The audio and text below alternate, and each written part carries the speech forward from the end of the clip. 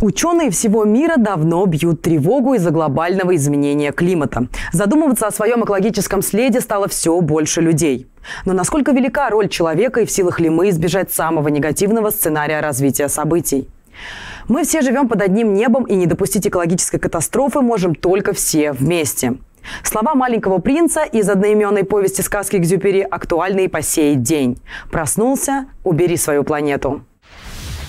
Ежегодно 15 апреля во всем мире отмечают День экологических знаний. Его цель – обратить внимание актуальный вопрос сохранения экологии. В этот день проводятся различные мероприятия. Людей привлекают к акциям по уборке общественных зон и соблюдению правил утилизации отходов. Особое внимание уделяют проблеме глобального потепления. Работа многих крупных предприятий, лесные пожары, свалки, вырубка лесов, перенаселение планеты – все это ведет к сильному загрязнению окружающей среды. И как следствие к задержке тепла в атмосфере и росту температуры поверхности Земли.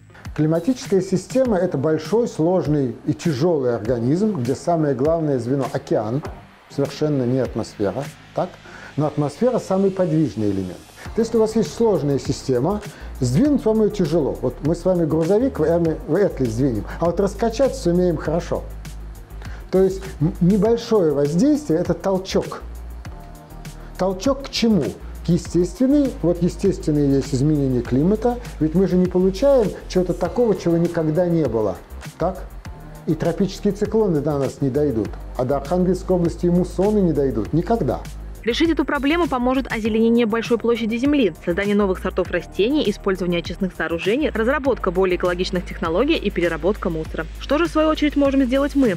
Самое простое – использовать для освещения не обычные лампочки, а люминесцентные энергосберегающие или LED-лампочки. Стекло, батарейки, макулатуру можно не выбрасывать, а сдавать в пункты приема. Во время чистки зубов или мытья посуды закрывать воду и брать в магазин многоразовую сумку, которая подлежит переработке. Помните, мы все живем под одним небом, и чтобы не допустить экологической катастрофы, необходимо заботиться о природе уже сегодня.